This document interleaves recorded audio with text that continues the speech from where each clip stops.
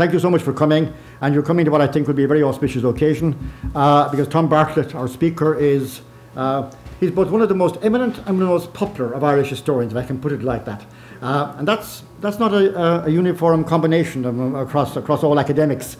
Um, so we're absolutely delighted to have him. We had Tom here, was it two years ago, Tom? Three years ago? Uh, three years ago uh, to give a, a, Notre Dame lecture, and uh, it was absolutely memorable. Uh, and I, I, just got I just sketched out very briefly. Are you from Belfast originally? Yeah. So he's a, he's a, a North of Ireland man, and that brings that brings perspectives that actually. Um, are a bit different from what a lot of Irish historians bring uh, and allows a, a, way of looking at Ireland that not everybody, I would say, further south has actually. Uh, and I think it sharpens perspectives in a number of ways. But anyway, Tom, my, you correct me if I'm wrong, Tom. I associate you with Galway initially, spending several years in University College Galway, uh, then getting the chair of Irish history, presumably in University College Dublin, for again several years, and then being headhunted by uh, a new Irish Studies Centre in Aberdeen, which had a good deal of Glucksman support, incidentally. It wasn't entirely coincidental, and whose, whose rector at that time, or president, whatever they're called, had been Dean of the Faculty of Arts here. So there are connections that one might not suspect. Um, and then Tom, when he retired from there, uh, was headhunted in a sense by Notre Dame, and you've been back and forth in Notre Dame for a number of years, and in my, my image of the way you spend your life. So he's a much sought after man in very fine institutions and very deservedly so. Uh, he's extremely well published, which one cannot say of all Irish historians, but certainly Tom has managed wherever he has been uh, to have sustained publication. Uh, in, I've got a lot of titles here, Tom, but the ones that are, he'd be best known for The Fall and Rise of the Irish Nation, The Catholic Question 1690 to 1830, and then one on Theobald Wolfe Tone, uh, and the, the um, the one that I, we were talking about the last time you were here, or at least that I was mentioning, the, the history, he's the, I'm going to say far and away the best, maybe I shouldn't say far and away, that's unkind to, to uh, absent friends, the best one volume history of Ireland, uh, going from St. Patrick uh, to virtually the present day, and uh, a fantastic achievement actually. And I'm not saying that because it's here, it's very few of us are able to range over 15 centuries and write with authority and with perception and with depth uh, in the way Tom has over the 15 centuries, based on extraordinary wide reading and uh, very sustained deep thinking. So it is, it's a, a, pleasure, it's a pleasure to have him, it's a pleasure to have him as himself, which again wouldn't, wouldn't necessarily say of all our colleagues. Um, and it's a pleasure, it's a pleasure to have him, a pleasure to have him as a truly major historian. So Tom, you're very, very welcome, so good luck all boy. All right.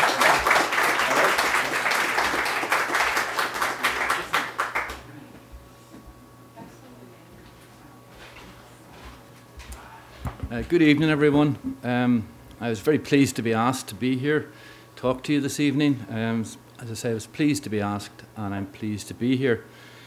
Um, my topic is Napoleon Bonaparte and Ireland. And this is a subject, of course, on which much could be written. It's not just the involvement of Napoleon Bonaparte with the plans of Theobald Wolfe Tone and Robert Emmet to conjure up a French army of invasion during the Revolutionary and Napoleonic Wars. Such projects are a matter of historical record for which documents exist and which can be assessed and evaluated. More than this, however, is the historical significance of Napoleon. His meaning, first in Irish popular consciousness in what you might call the long 19th century, and then second, his place in Irish revolutionary thinking in terms of obtaining military assistance from abroad. In an Irish context, to an extent, these twin aspects of Napoleon's legacy, that is to say, the popular aspect and the revolutionary, can be separated and seen as, on the one hand, Napoleonism.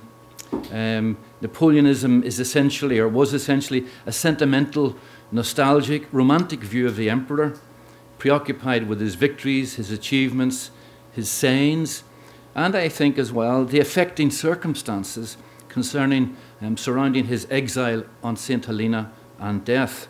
I mean, who could not feel to be moved by his swift fall from being emperor of half the world to being confined to a barren lump of rock in the South Atlantic? This view of Napoleon is largely devoid, I think, of political content. Against that, however, there is something that we might call Bonapartism, which was overtly political and potentially revolutionary. It equated Bonaparte with the French Revolution and with republicanism, and of course, it blithely ignored the inconvenient truths about Bonaparte. He was the man who brought an end to the French Republic, after all. He suppressed all legislative opposition. He practiced the most draconian censorship in French history. He organized a police force of redoubtable efficiency. He re established a nobility. And he reimposed slavery in the Caribbean colonies. Nonetheless, Bonaparte was admired um, because what he was seen to be doing was marrying what you might call martial vigor with civic virtue. And I think these two paths, Napoleonism and Bonapartism, converge in Ireland in 1916.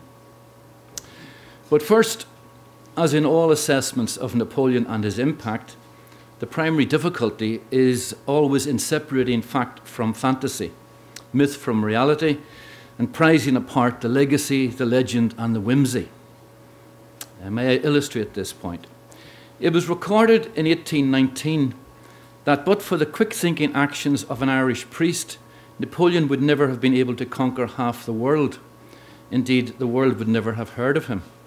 Father Edward Redmond, parish priest of Ferns, County Wexford, from 1786 until 1818, had, as a student in France, apparently made a dramatic rescue of the boy Bonaparte who had fallen into a river near to the college where Redmond was studying. Redmond had pulled him to safety and the rest is what? History or fantasy? Then there are the many Irish connections of Napoleon's family. We can't disregard the claim that Napoleon's grandfather was an O'Donovan from Kilkenny. There is no evidence for this. We were on firmer ground in pointing out that Napoleon's older brother Joseph married the daughter of an Irish merchant, Francis Clary, in Marseille. She eventually became Queen of Spain. And Jerome, the youngest of Napoleon's brothers, married Elizabeth Patterson, the daughter of an Irish merchant in Baltimore, Maryland, much to Bonaparte's uh, displeasure. As for Napoleon himself, we learn that in his youth he was rejected, dumped by Desiree Clary, another daughter of Francis Clary and the sister of Joseph's wife. According to Montholon, who was a sort of Boswell uh, to Napoleon when he was in exile, Desiree remained afterwards Napoleon's one true love. She subsequently married Marshal Bernadotte, a bitter rival of Napoleon, and eventually became Queen of Sweden. One writer has mused it is interesting to speculate whether the career of Napoleon might have been different if he had married her with her splendid character and qualities rather than Josephine, an adventuress of dubious morals. Let's leave genealogy to one side. There's the claim of the well known silversmiths, Bradfords of Clonmel, County Tipperary, that Napoleon used to shave with razors made by them.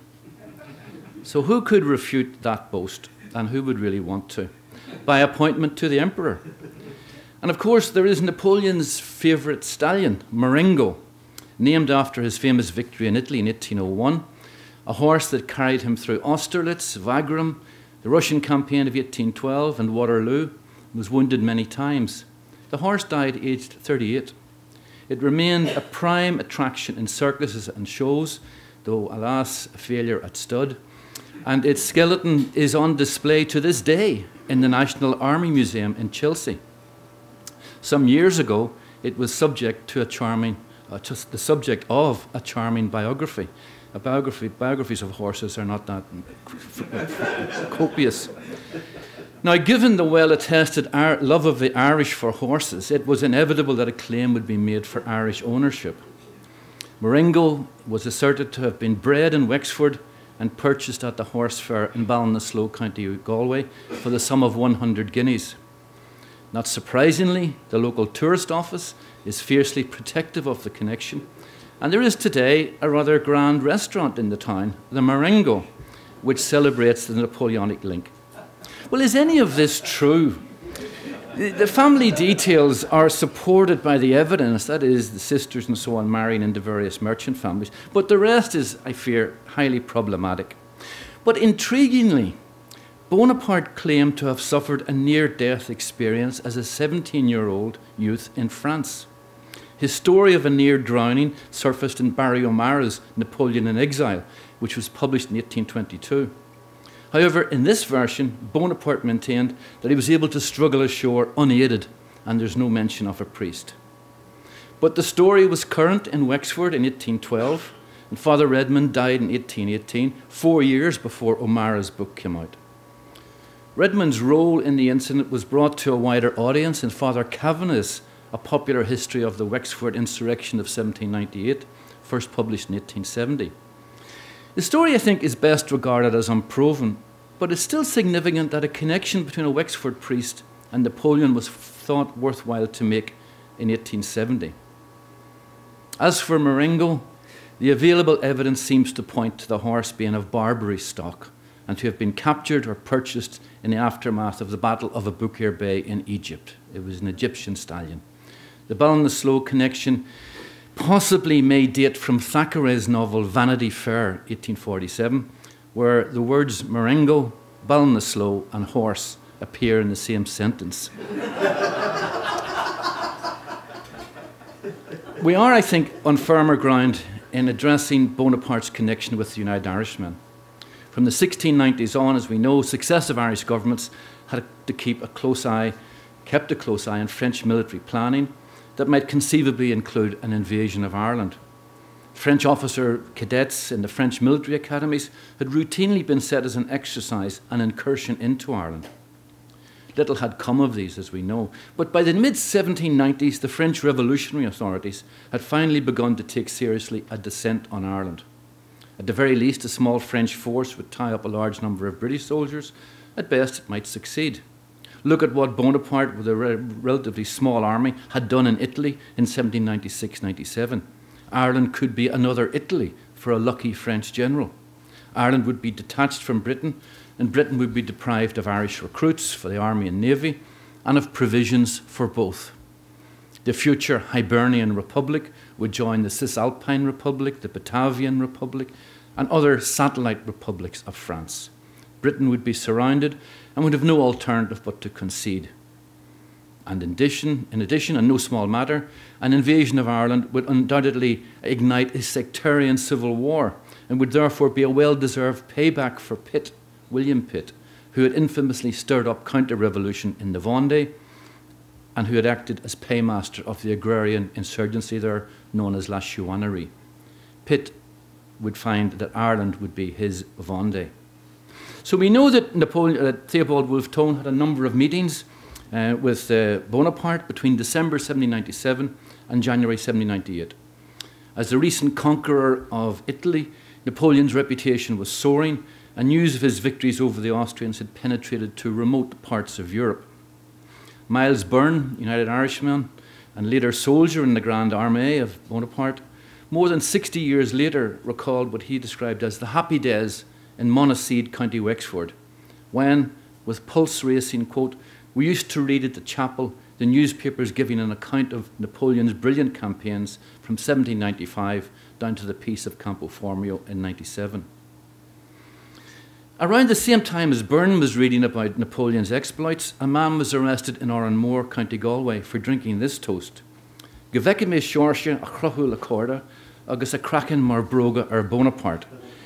May we see George hanged by a rope, George III, and his skin used to make boots for Bonaparte. and when Henry O'Kane disembarked with General Humbert at Killala, County Mayo, he sought to impose his will on the local inhabitants and waved his sword over his head and claimed that the sword he had in his hand was given to him by General Bonaparte. Indeed, in the folklore associated with the French raids in 1798, it was Bonaparte who had actually come to Ireland, not the obscure Humbert. Tá na Frankie inis is stiga Killala agus béimiid galahan Liger. Tá Bonaparte a gaslan a wari a chap the Irish are now in Killala, and we will be broad and strong. Bonaparte is now in Castlebar, seeking to enact Sarsfield's law. But more elevated witnesses could be swept away by Napoleon's awesome reputation. In May 1798, Lieutenant General James Stewart rashly announced that he had in fact captured Napoleon Bonaparte off the Cork coast. And given Napoleon's extraordinary military standing throughout Europe, It's no wonder that a rather odd Theobald Wolfe Tone should comment in his diary that it is droll enough that he, an Irish exile, a relative of none, with no military standing, travelling under the nom de plume of James Smith, should be writing to Bonaparte seeking an interview. The pair duly met during the third week of December 1797 at Bonaparte's house. And here is Tone's account. He, Bonaparte, lives in the greatest simplicity. His house is small but neat, and all the furniture and ornaments in the most classical taste. He's about five foot six high and well made, but stoops considerably. He looks at least 10 years older than he is, owing to the great fatigues he underwent in his immortal campaign of Italy. His face is that of a profound thinker, but bears no mark of that great enthusiasm and unceasing activity by which he has been so much distinguished. It is rather, to my mind, the countenance of a mathematician than of a general. He has a fine eye and great firmness. He speaks low and hollow, so much for his manner and figure. But as for Ireland and Irish affairs, Tone recorded his disappointment that Bonaparte appears a good deal uninformed. For example, he seems convinced that our population is not more than two million, which is nonsense. Bonaparte listened but said very little. We may note that another of Bonaparte's Irish visitors recorded that the great man believed that Ireland was infested with wolves, and yet another recalled that Bonaparte, quote, seemed to understand nothing of this noble island of Ireland, more than a general idea of its religious differences. He erroneously thought the entire country was Catholic. Afterwards, I knew that he entertained a very poor idea of the Irish nation. A further meeting on 3rd, 23rd of December 1797 lasted just five minutes, during which Bonaparte asked for further materials on Ireland. Tone noted, His manner is cold, he speaks very little. It is not, however, so dry as that of General Hoche, but seems rather to proceed from languor than anything else. He is perfectly civil, but from anything we have yet seen or heard, it is impossible to augur anything good or bad. We have now seen the greatest man in Europe three times, and I am astonished how little I have to record about him. Yet, after all, it is a droll thing that I should become acquainted with Bonaparte. A final meeting took place on the 13th of January 98. Bonaparte recorded that he and Edward Lewins, another United Irishman, met Bonaparte and handed over further memoranda and maps to him. Tone told him that the United Irishmen in, in Paris were eager to be involved in any invasion of Ireland. Finally, writes Tone, I spoke of myself. He expressed his great desire to be on the staff for the forthcoming invasion. Bonaparte assured him that he would be. But then Tone made a shamefaced disclosure. He had no military experience or knowledge. To which Bonaparte replied, in a phrase which I imagine was to set Irish nationalist hearts pounding during the 19th century, mais vous êtes brave, but you're brave. Napoleon modestly replied that the that Tone modestly replied that when the opportunity offered, he hoped that would be the case, to which Bonaparte rejoined, Eh bien, cela suffit, that's fine. They parted, never to meet again. Napoleon, within a matter of months, would go off to Egypt, not Ireland, while Tone, in a reckless move, sailed for Ireland in October 98, only to be captured and die in prison by his own hand. Twelve years later, 1810, Tone's widow, Matilda, had an encounter with Napoleon. Since her husband's death, she had lived, lived quietly in France, existing on the pension paid to her by the French government, awarded only after some fairly severe prompting by Lucien Bonaparte, Napoleon's brother. She had spent her time caring for her family, but had suffered the heartache of seeing all of her children, except for William, die of consumption. William was to be her sole surviving child, and she was determined that when he came of age, he would be enrolled in the Imperial Army's prestigious School of Cavalry. Accordingly, in 1810, she applied to the Duke de Feltre, the Minister of War, to place her son there. Now, de Feltre, formerly known as the, uh, Henry Clarke, Henri Clarke, was of Irish Jacobite stock, and he had worked with Theobald Wolfe Tone in preparation for a French invasion of Ireland. But despite these connections, he felt he owed the Tones no special favours, and he ruled that young William would become an officer cadet in Napoleon's Irish Legion, at that time serving in Spain. With formidable resolve, Matilda decided to bring her case to the Emperor Napoleon's attention. Now, it was well known that when in Paris, Napoleon hunted regularly in the forest of Saint Germain, and so Matilda conceived a plan, in effect, to ambush the emperor when his carriage halted to change horses, and to thrust a bound, a bound essay by William, along with her memorial, into his hands. So Matilda continues. Very soon, the carriage with the emperor and empress drove into the circle in the forest.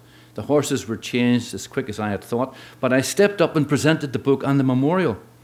The emperor took them and, handing the book to his groom, opened the paper. I have said it commenced by recalling Tone to his memory. When Napoleon began to read, he said, Tone, with an expressive accent. I remember him well, je me souviens bien. Napoleon quizzed Matilda about her circumstances, and she described her modest life at Saint Germain and explained further about her son. The emperor promised to look into the matter, and his carriage departed. The incident was the talk of Saint Germain. Who was that strange woman who had taken the emperor of, Napo- of France by his collar? Matilda's tone, Matilda Tone's effort proved successful, for William obtained his government scholarship and he never did serve in the Irish Legion. Napoleon's later dealings with the United Irishmen proved less happy. After the failure of the 1798 rebellion, the non arrival of a large French force, the remnants of the United Irishmen were reluctant to put too much trust in French promises of further assistance. Robert Emmet travelled to France in the aftermath of the 1798 rebellion and made contact with leading members of the consulate. It is unclear whether he ever met Napoleon. His biographers are divided on this point. It seems highly unlikely. There is no evidence whatsoever to support a meeting. We can be confident that Robert Emmet and others did meet French officials, but the abiding impression they took away from these contacts was one of deep suspicion concerning French intentions towards Ireland. Thomas Addis Emmet, Robert's eldest brother, hated Napoleon for having, as he saw it, betrayed republicanism, and he doubted whether Napoleon had ever any intention of liberating Ireland. Curiously, Arthur O'Connor, a bitter enemy of Thomas Addis Emmet, also denounced what he called that enemy of anything like liberty, Bonaparte. Robert Emmet came to share this verdict. However, despite the doubts over Napoleon's intention or over whether or not he and Robert Emmet had ever met, Irish nationalists in the late 19th century had no, no hesitation about pressing Robert Emmet and Napoleon Bonaparte into their patriotic iconography. When the legend and the facts conflict, print the legend.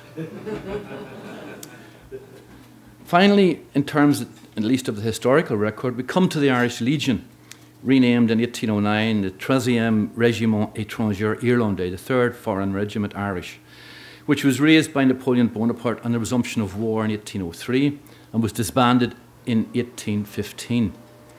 The Irish Legion story is not a happy one. It had an undistinguished, not to say unfortunate, history. No Fontenoy adorns its battle honours, and while its officers were at least initially um, Irish born or of Irish extraction, its rank and file consisted of Poles, Polish, and Prussian um, conscripts, with a leavening of British, Irish, and Scottish deserters or former prisoners of war.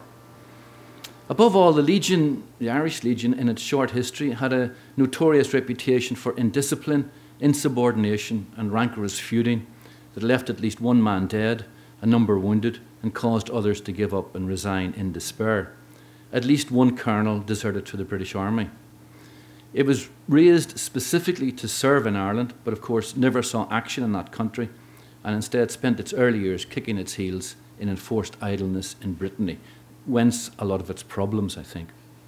All in all, its disbandment under the restored Bourbons, possibly at the insistence of Lord Castlereagh, comes as something of a relief from its squabbles and factionalism. Now, little of these disputes, of course, was known about in Ireland, nor indeed of Napoleon's vagueness where Ireland was concerned. On the contrary, despite a concerted British effort to demonise him in pamphlet, broadside, and print, and to detail the misery visited on the countries he had invaded, the Irish Catholic reaction to Napoleon's exploits, adventures, and victories was overwhelmingly positive. French attacking, the Maid of La Vendée, and then a glorious victory. So the good deal of propaganda went in to try and put, get Irish opinion on track that Bonaparte was a menace to world civilization, to, really to very little avail. The success of Bonaparte on the continent has occasioned great joy and exultation among many of the Catholics, wrote one official in 1806. Another reported that the country people are becoming greater politicians and they meet in clubs to read the accounts of Bonaparte. Agrarian insurgents in County Waterford drank health and success to Bonaparte. Elsewhere, the toast was Bonaparte and our religion. Very bizarre. And despite the best efforts of some Catholic priests who labelled Napoleon an infidel and an ogre, his treatment of the Pope and the Catholic Church was comprehensively ignored. In fact, wrote one Dublin Castle official rather wearily, quote, if Bonaparte could bring the Pope to the top of Tara Hill and guillotine him there in the face of the day, he would not lose 10 followers for it. The progress of the war in Spain was followed with rapt attention by both Dublin Castle and the whole population of Ireland, understood to mean the Catholics. People, even poor people, claimed the next 1798 rebellion, talk and think of nothing but Napoleon's successes and the expected invasion. The minds of all parties in the Catholic body are directed towards events in Spain. Whenever any bad news arrived from the Iberian Peninsula, wrote the Orange champion John Gifford in 1809, quote, The walls in Dublin are measly covered with placards, and you can see joy in every popish countenance, insolence in their eyes, and malice in their manner. When things are better, as they are supposed to be now, all is stillness and tranquility. Five years on, 1814 or so, the prospect, quote, on the continent has again brightened, wrote Lord Sidmouth to Peel, and the barometer of turbulence and disaffection on your side of the water has, I suppose, again fallen. And Whitworth, the Lord Lieutenant, looked forward to the end of Bonaparte as it would be the best remedy for Irish disaffection. Accordingly, news of Bonaparte's escape from Elba and the ensuing hundred days of frenzied political, diplomatic, and military activity was all followed avidly in Ireland. The lower orders, it was reported, were highly gratified at Bonaparte's progress. This had caused a ferment in Ireland nor were the disaffected in Ireland all that cast down by Bonaparte's defeat and exile to St. Helena, or so it was claimed. In September 1815, remember, three months after Waterloo, it was said that the insurgents in Tipperary still expect Bonaparte. And in November of that year, William Gregory, Under Secretary, wrote that the disaffected still clung to the absurd idea of French help, which was a result of false prophecies circulated among them for the purposes of delusion. But even before Waterloo, 200 years ago this year, Napoleon Bonaparte had passed into legend in Ireland. In France and in Britain, the Napoleonic legend may have rested almost entirely on his actions during the Hundred Days, the brief period between Elba and, and, uh, his, and Waterloo, when the great man attempted to follow what might be called a liberal agenda in French politics. So much for France and Britain. But in Ireland, long before this, he was seen as a messianic figure destined to bring deliverance to the Irish. And this idea of a deliverer from abroad was, of course, a well trodden road in Irish history. In 1810, near Dunlavin in County Wicklow, a large crowd gathered to hear a poet, one Doyle. At the reading, or possibly the singing, two figures duly appeared, none other than Napoleon and his empress in effigy. And in August 1815, as news of Bonaparte's fall was being confirmed, at a gathering near Omagh, County Tyrone, a Catholic leader, one Rafferty, addressed the crowd. Those that stick well with me, boys, shall get a townland in some part of Ireland. The crowd then cheered him, at first called him King James, and afterwards Bonaparte. As is well known, Napoleon was accompanied to St. Helena by Dr. Barry O'Meara, an Irish medical doctor who had been trained in the College of Surgeons in Dublin and then served in the Royal Navy. Apparently, Napoleon was taken with O'Meara's command of Italian, which of course was Bonaparte's first language, and asked for him to stay on. And the two men became what we might call respectful friends. Now, St. Helena was little more than a chunk of volcanic rock in the South Atlantic, populated by large numbers of pink eyed rats and was an inhospitable climate.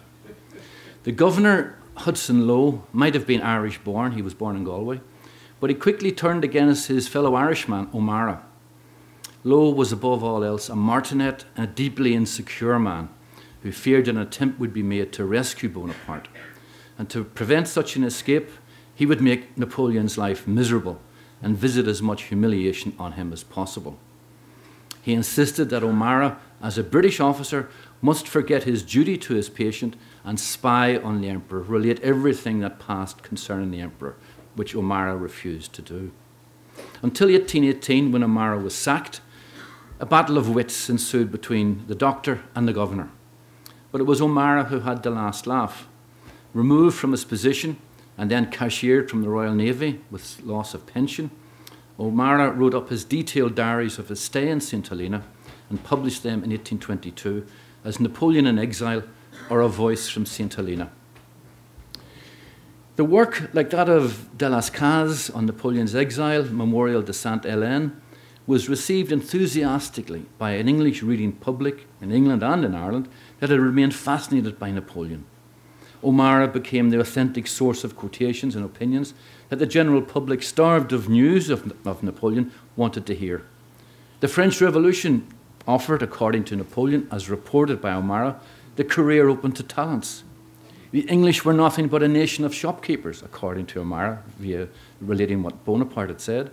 And as for the military, with perhaps a nod at Theobald Wolfe Tone, I love a brave soldier who has undergone a baptism of fire, whatever nation he may belong to. Now, curiously, Bonaparte, for the most part, treated O'Meara as if he was an English officer and seemed scarcely to recognize that he was Irish. And sadly, the Emperor's much quoted regret that he had not invaded Ireland instead of Russia, a quotation that found its way into the late 19th century patriotic Irish history book, the Kiltartan History Book, owes its origins to de las Cases, to his reminiscences, not to those of O'Meara. More relevant, perhaps certainly more pertinent, was Napoleon's verdict on the United Irishmen that he had encountered. O'Meara revealed that he was dismissive of them Quote, if the Irish had sent over honest men to me, I would certainly have made an attempt upon Ireland. But I had no confidence in either the integrity or the talents of the Irish leaders that were in France. They could offer no plan, were divided in opinion, and were continually quarrelling with one another.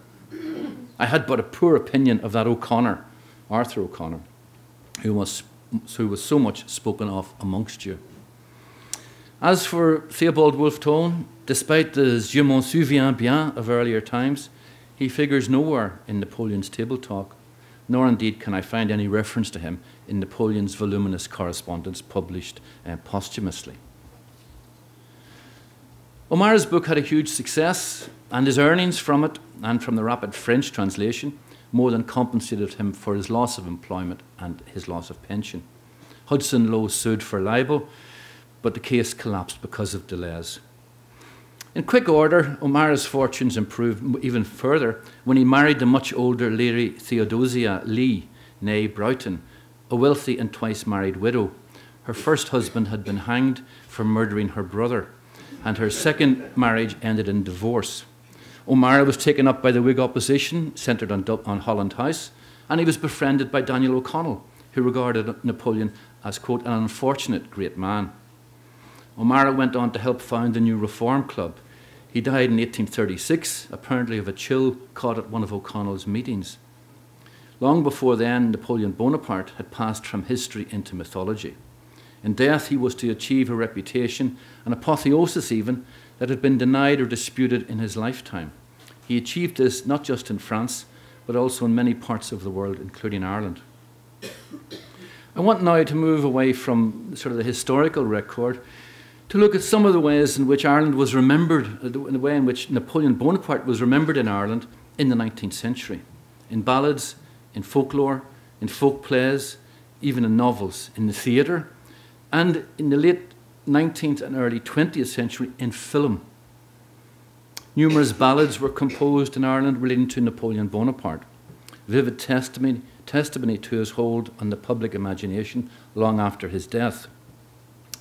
Some of these, some of these ballads were written in England, where something like a cult of Napoleon existed until the 1850s, and were then adapted to Irish circumstances. Some were older Irish ballads or poems, for the latter were frequently sung rather than recited, and were duly updated to include Bonaparte. And here, it must be remembered that a central theme in Irish poetry was the notion of deliverance of Ireland by foreign intervention.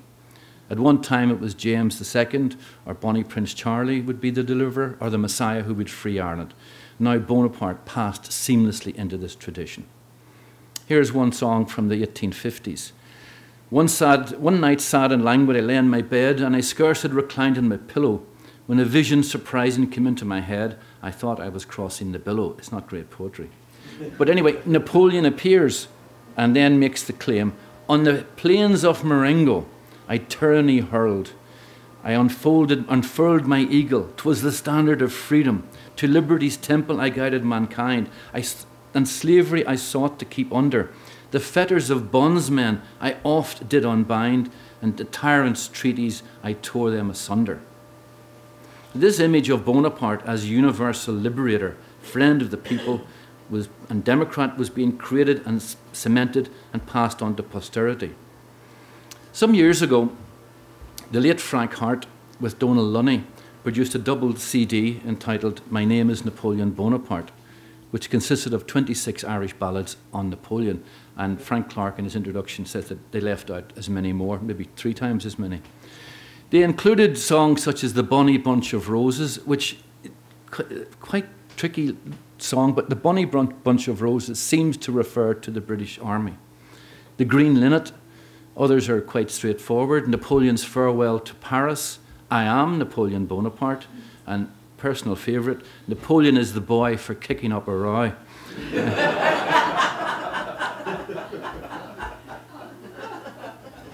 Not all of these were tributes to Bonaparte.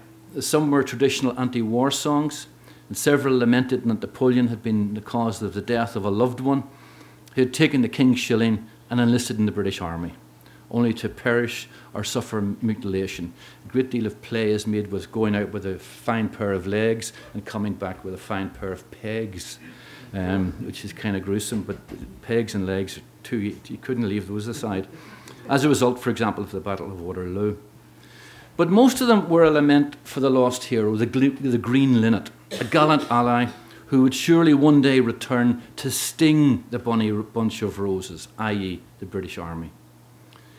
James Joyce, or Bloom, was sufficiently impressed to list Napoleon in Ulysses as one of, quote, many Irish heroes and heroines of antiquity. He li- listed him alongside Shane O'Neill, Father Murphy, and Theobald Wolfe Tone.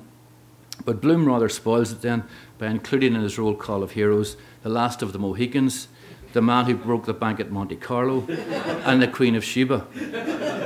But more to the point, Joyce describes Leopold Bloom in a very telling point as sporting a Napoleonic forelock, which obviously indicates that people knew what Bonaparte looked like or purported to look like.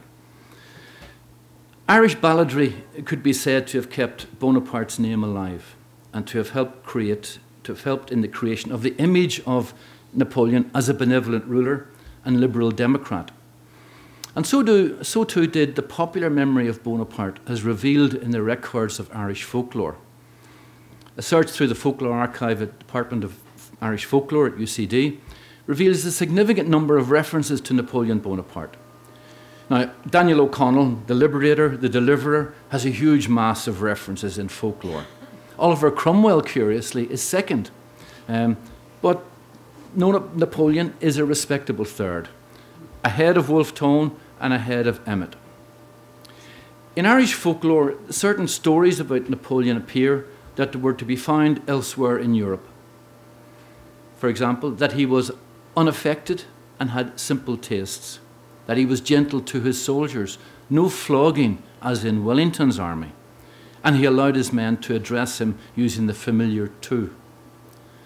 A story which is very common in France but found in Ireland and elsewhere was that Napoleon had never in fact died, or in Irish folklore near Caillouay He never died. Interestingly, and by way of confirmation, a French traveller in Ireland in the 1840s was told by a turf cutter that Napoleon was not dead. Quote, that fellow in St. Helena was not really him at all. Bonaparte was hidden away in some impenetrable place, a bit like Luke Skywalker perhaps, and would emerge when the time had come. Other stories represented Napoleon as the all forgiving wise ruler, literally a gentleman. Here's a story from West Kerry, Irish speaking area, collected in the 1930s, on Farfara in Achullah, the sleeping sentry, a story that is found elsewhere in Europe. It begins vi Cahmordige Bonaparte leis na Slui Francoch agus na Austrians and Idoil. There was a big battle one time between the French and the Austrian armies in Italy. The Austrians defeated, and the day went to the French. That night, the French slept soundly in the open air, and Bonaparte posted sentries around them in case the Austrians returned. Just before midnight, Bonaparte rose from his bed to check that everything was in order. On his walk around the camp perimeter, he came across a sentry fast asleep with his musket on the ground. Napoleon took up the sentry's weapon and stood guard in his stead. After about an hour, the sentry awoke and was startled to find that his musket was missing. He was also taken aback to see Bonaparte in front of him with the gun in his hand. Understandably, he reckoned that he would pay dearly for his transgression. But no, gentle Napoleon merely said that he understood that Sentry was tired after the hard day's battle. No harder battle was ever fought, but that from now on he had to do his duty, for the enemy might yet destroy them with a surprise attack. The sentry thanked Napoleon, resumed his post, and never again failed in his duty. Here's another example, I think a fairly delightful one, if a little bit puzzling in what it signi- signifies, of the meek and mild emperor. It was collected as part of the nationwide Irish folklore schools scheme undertaken in 1938.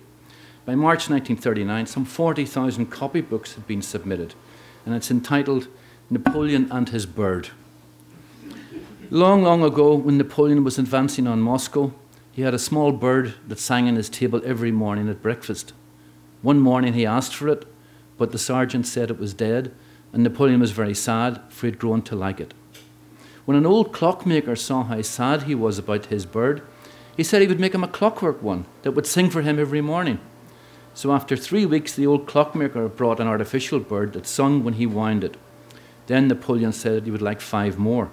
That way he could set all six singing together. That's the puzzle.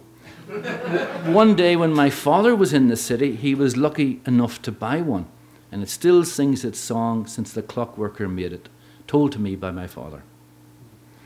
Finally, there's the public memory of Napoleon, Josephine, Marengo, and the Battle of Waterloo. In numerous reenactments, restaging, circus acts, and popular dra- melodrama, Napoleon, or a version of him and his entourage, lived on long after his death. For example, even when he was on. Helena in 1816, to great acclaim, his carriage was exhibited in London, along with his personal wardrobe his horses, and his Dutch coachman Jan Horn. The exhibition later moved to Dublin, where it was equally enthusiastically received. Among other examples of the Irish public's fixation with Napoleon, we may note the curious, not to say bizarre, exhibition that was offered in the 1840s at number 153 Capel Street, Dublin. This was nothing less than a beautiful mechanical group entitled The Death of Napoleon. Apparently, it was some sort of a machine complete with tubes, compressed air, and various models resembling uh, Bonaparte's deathbed. It sort of underlines the macabre Victorian obsession with the last moments of great men, and it promised a breathtaking experience in which the deathbed scenes would be reenacted. Quote, Napoleon is shown lying on a correct model of his famous bedstead, surrounded by his attendants and his confessor. He opens and shuts his eyes, he turns his head on the pillow, his chest heaves, his breathing is very languid. This melancholy scene defies description.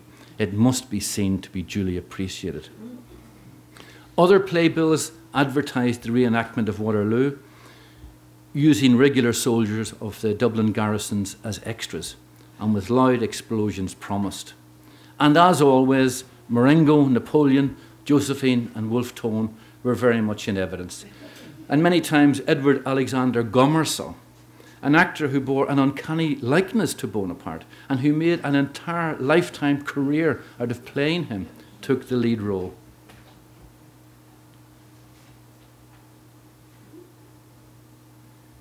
It's one of them. Battle of Waterloo, the horse Marengo. death of the Duke of Brunswick, explosion of ammunition wagons, and the horse Marengo. And you can see this is sort of like Queen's Royal Theatre. Um, various acts are offered, 1840s.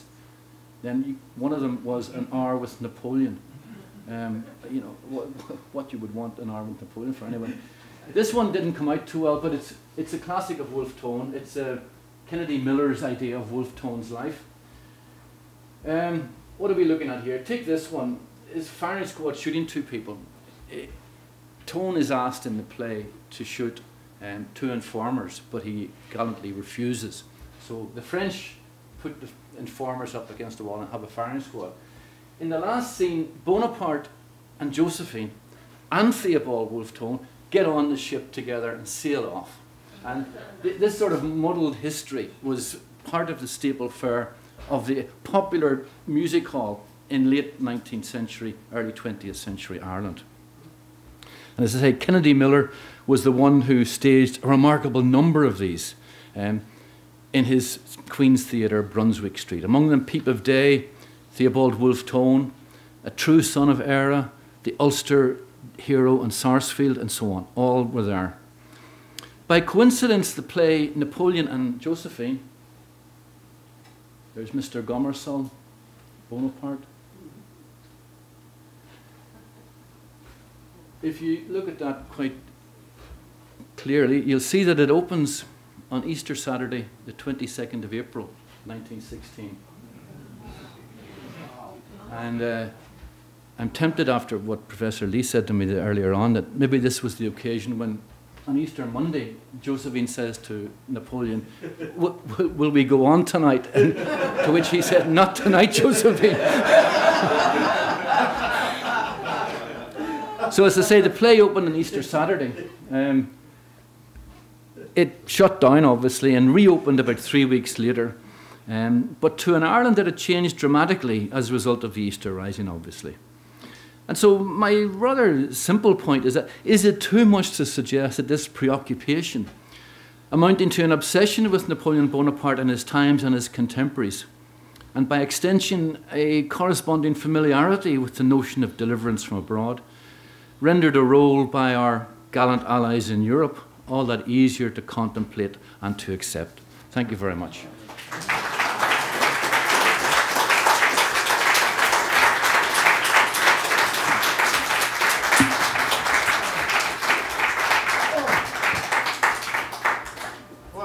Intriguing presentation from any number of angles that nobody could have anticipated, I imagine. So, time for questions or observations or comments or anything else like that from, from any angle? Can I ask a serious question? If yeah. put it like that. Um, i was intrigued at the very end when you were talking when you had Waterloo. And I'm wondering about the reception in the Irish newspapers, which of course at that time would have been a very select group indeed. Given what we now know about the number of Irish fighting on the British side at Waterloo, yeah. Yeah. was was was that dimension of Waterloo was that was that referred to in those in those comments? Have, you been to them, or was this regarded as straight French versus English? and with us on the no. French side, so to speak, or how, or how did it go? It, it, it's brought up many times in parliamentary debates, 1815, 1816, and continually for the next 10 or 15 years.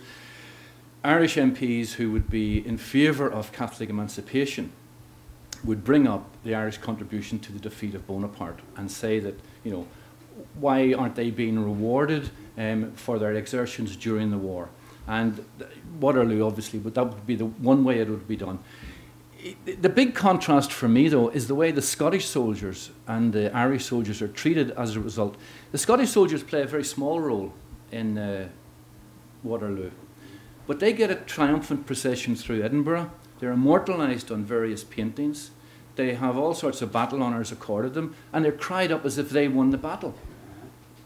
The Irish soldiers who were at the sharp end of the battle and suffered very heavy casualties were ignored.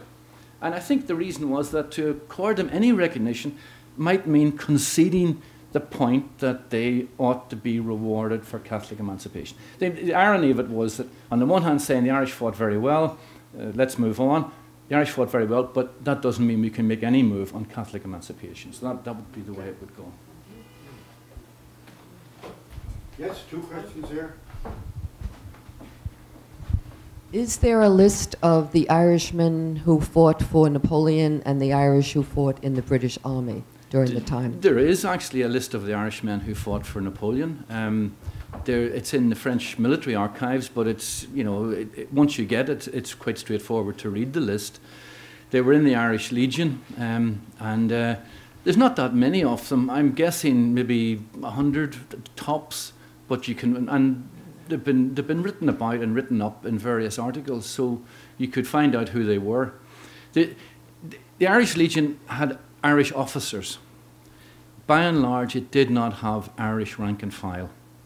It, the rank and file were usually Polish or Prussian or deserters or whatever, but the, the officer corps was Irish. And it, but that became diluted as the 1805 became 1808, 1810, and so on. Um, but those officers' names are all well listed and could be found. Yeah. As for the Irish in Napoleon's and Wellington's army, yes, they, that can be retrieved, but there's a lot of them. You know, we're looking at tens of thousands, and um, you know the British Army by 1815 is well over a couple of hundred thousand. So, and the Irish are about 40% of that, which puts it about 80,000. So there's a you know there's a huge number, and they're scattered through maybe 50 or 60 regiments. So there's a, you know, there'd be, a, be a, an arduous task to sort of try and pick out all the Irish from the various regiments. Because even the Irish regiments, even the English regiments, have large numbers of Irish uh, recruits. So it's large amount of work involved there. Uh, you had mentioned about the ballads that they sang. Now, I, this is probably a Tin Pan Alley uh, my father used to sing The Wearing of the Green, Hmm. all about Napper Tandy, took me by the hand, blah, blah, blah. But uh, that's not one of your ballads, right? That's a Tin Pan Alley Well, it's, ballad? it, it's so, it, it again, it again comes from that period. I mean, Napper Tandy is in, is in Paris in the 1790s. He was an Irish radical, an Irish revolutionary. Um, you know, he had all sorts of ca- character faults and perhaps wasn't as great as he made himself out to be. He fought with Wolfe Tone, um, absolute, complete sunder between Wolfe Tone's friends and Napper Tandy's friends in Paris. And it's possible that was what Bonaparte was referring to, that you know, the Irish quarrelled among themselves. And it is true.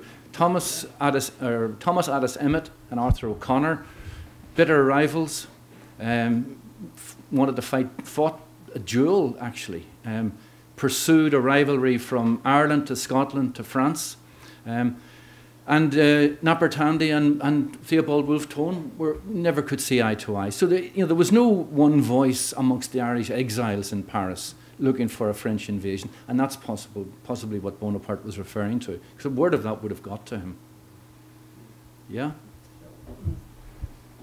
Why did the Irish fight in such numbers with the British Army? Was it the pay, was it patriotism, or was it something else? Why did the Irish fight so much in the British Army?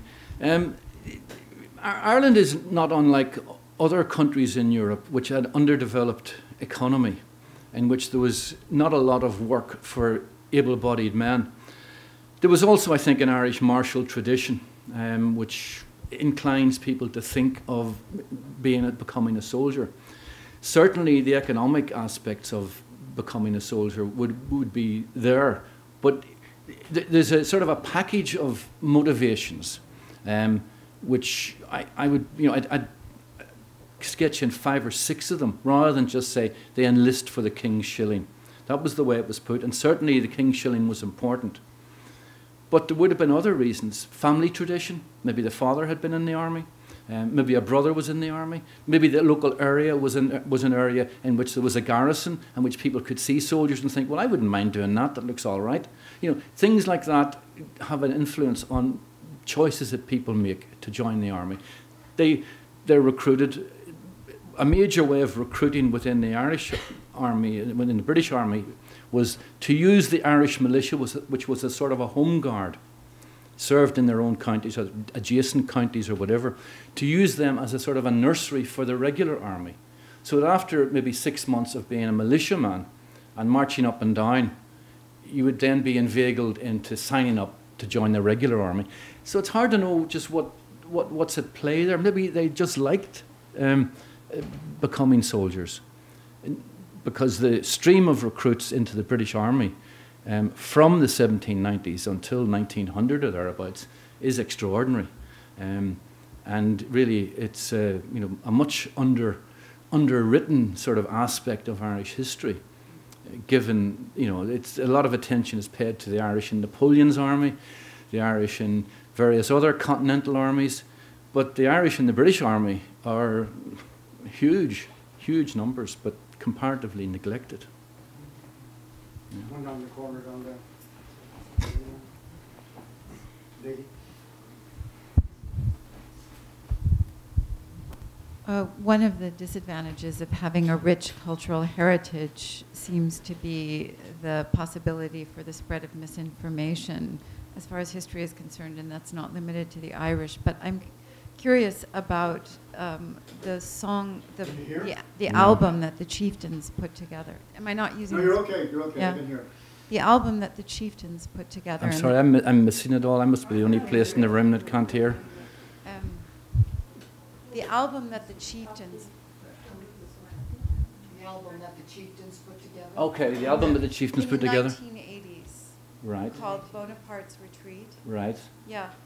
What, what was the actual historical tie there? I mean, is there any factual link between this music and, um, and, and the Napoleonic Wars at all? Well, it- yeah, I mean, it, it, it's a it's a pretty specialised question. I wouldn't I wouldn't have just. oh, I thought But that the, the, the, the music, a lot of it, it undergoes all sorts of transformations. Some of the some of the pro Bonaparte ballads start off as uh, British Army tunes, regimental marching tunes, which then get lifted into the popular, and then get the wording changed, and sometimes the music changed, and then come back to Ireland, and then become Irish tunes, and also Irish tunes go to England and become part of English tunes. There's a whole literature on the folk song. And you know, it's quite instructive to look at it, the way that you think that classically Irish tunes are just that. It turns out that in fact they're from English tunes. And similarly, English tunes originated in Ireland and then were transformed and adapted to new purposes so that and then were passed off as English and became English in people's minds. So it, it's, a, it's an interesting way in which these traditions, these musical traditions, move from one country to another. Um, the Bonnie Bunch of Roses um, is a classic one.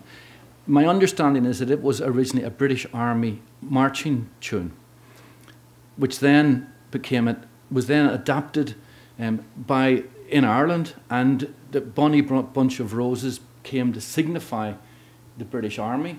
And then various lines were attached to it, which indicated that Bonaparte would come along and defeat the Bonnie Bunch of Roses. The Bonnie Bunch of Roses being a reference to the redcoats of the British Army. It's, as I say, there's an extensive literature on it, and if you Google um, British folk songs, you'll get a whole rake of references to them. Could I ask Tom, is there any question, Tom? Could I ask, did you have, we were talking about the British Army, were wrong, did you have to be English speaking to join the army? Were there Irish speaking units, or how, how did the language, did the language issue arise? The- the numbers we're talking about who were in the army at that time, I mean, how many would have been coming from still predominantly Irish speaking areas? The- those who joined the army would have been, I, I guess, predominantly Irish speaking, but it, they would have been bilingual to an extent. That is to say, the Irish would have been for the cosy, for the familiar, the domestic. For the men in their barracks would talk Irish. But on the parade ground, it would have been um, different. Now, having said that, um, you know, in a book that we were both involved in, you know, I, I do publish a, a, pro- a proclamation or a poster which the British Army put out in 1806, you know, advertising for recruits. Ask Gaelic. You know, They, they, they actually produce a whole thing saying, here are the terms and conditions you will achieve, all in Irish in 1806. But that almost implied that it- liter- literacy in Irish. Hmm. Literacy, literacy in the language is a huge problem, as distinct from, you know, obviously facility spoken. Absolutely, yeah. We're very Yeah. advanced in many ways. Yeah, it, it does imply that people could read. Um, I don't know how successful that was. It's the only example of an Irish language poster, eh, eh, you know, in, inviting people to join the British Army that I've ever seen, and that's from 1806. This chap here. Um, Forgive me if you covered this, I came in a few minutes late, but um, You want to, my understanding uh, is that the agricultural census in 1803 was taken a little to... closer to your mouth, she's saying, yeah.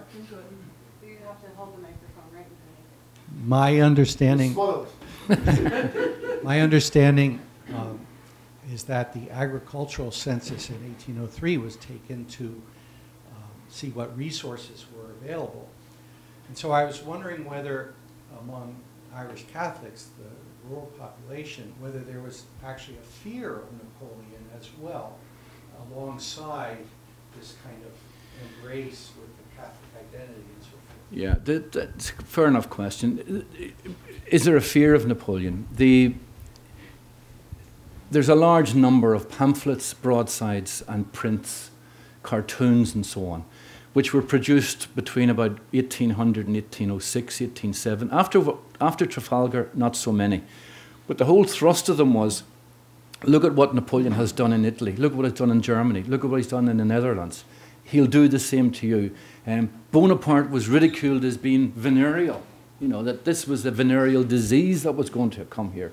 There's nothing for the faint-hearted. It's full-on, lurid, um, sort of demonization of Bonaparte. It doesn't seem to have had any effect whatsoever. In theory, Bonaparte's treatment of the Pope should have aroused Irish Catholic indignation. But as one guy says, one of the Dublin Castle officials, if he'd guillotined the Pope, he wouldn't lose anyone in Ireland. you know, they, they are just totally fixated on him. In, in a, as an image in Irish history, as a person, a, a person in Irish history that they were familiar with and which they try to keep going through the 19th century, down to the Easter week proclamation. Yeah.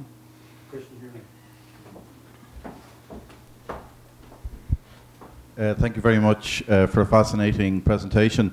Um, I was just wondering, was Wolfe Tone um, able to speak fluent French, and in terms of communication with the French leadership and uh, with uh, Napoleon in particular, um, how were the, the language um, issues ironed out? Was it through interpretation, or what way did it work? Thank yeah, you. That, that's a good question. There's a, a, a, some substantial, very combative literature on Bonaparte's French, um, his ability to speak French. He claims he couldn't speak it all that well, and yet others who have studied his proclamations and the way that he addressed clearly say that he clearly could speak good French. There's no real indication of, a, um, of an interpreter at his side. In fact, there is none. Um, and it, I think it's pretty much accepted now that Napoleon, or that, that Theobald Wolfe Tone, had a very good command of French. He, Tone has a way to disparage his abilities. He's always, he has no military experience, but he had some military experience. He never did this, but, you know, he was a hopeless lawyer, but he actually wasn't that bad a lawyer. You know, he sort of always runs himself down. So when he says my French is execrable, it's not to be taken literally. Um, he doesn't seem to have needed an interpreter. I mean, he gets in to see Carnot in the French Ministry of War just by walking in the front door and saying, I want to see the French Minister of War. And he's brought in to meet him. It's, you know, it's sort of weird, but that, that's the way it was. Um, so I think his French was good. Yeah. Okay. Well, I think we've had a really fascinating, very enjoyable. Thank you very much.